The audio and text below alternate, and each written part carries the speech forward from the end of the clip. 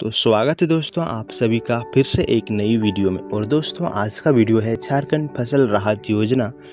में वंशावली किस तरह से बनाना है और कौन से पेज में आपको वंशावली बनाना है? जी हाँ दोस्तों, वंशावली जो होता है काफ़ी ज़रूरी होता है। अगर रसीद आपके नाम का नहीं है, आपके दादा परदादा के नाम का है तो यहाँ पर इस स्थिति में आपको वंशावली बनाना होता है। और दोस्तों, बात करेंगे वंशावली आपको रसीद जो आप देते हैं, उसी के पीछे में आपको बनाना है।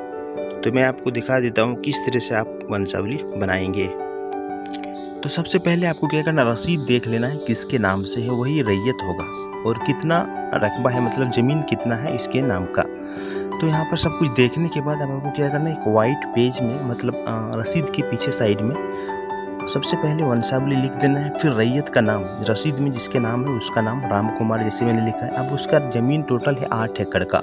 अब इसमें से उसके दो बेटे हैं, एक लव कुमार, एक अरुण कुमार, दोनों का चार चार एकड़ करके हिस्सा होता है। अब आवेदन करता लव कुमार का बेटा है तो लव कुमार का भी दो बेटा है, एक अनूप कुमार और एक ऋषि राज कुमार तो दोनों को यहाँ पर मैंने दो दो एकड़ करके दर्शा दिया है। अब बात करेंगे अनूप कुमार ही आवेदक है तो अनूप कुमार के नीचे में लिख देना है आवेदक अनूप कुमार और रकबा दो एकड़। अब यहाँ पे नीचे में मुखिया का हस्ताक्षर तारीख मोहर का जगह रख देना है। उसके बाद आपका जो सिग्नेचर वगैरह मुखिया से करवा लेना है। फिर इस फॉर्म को आप ऑनलाइन करवा देंगे तो आपका आवेदन कंप्लीट हो जाएगा। आप इस योजना का लाभ ले पाएँगे। तो दोस्तों, आज का वीडियो आप लोगों को पसंद आया होगा तो वीडियो को लाइक करके चैनल सब्सक्राइब कर लीजिए। मिलते हैं नई वीडियो में। तब तक के लिए धन्यवाद।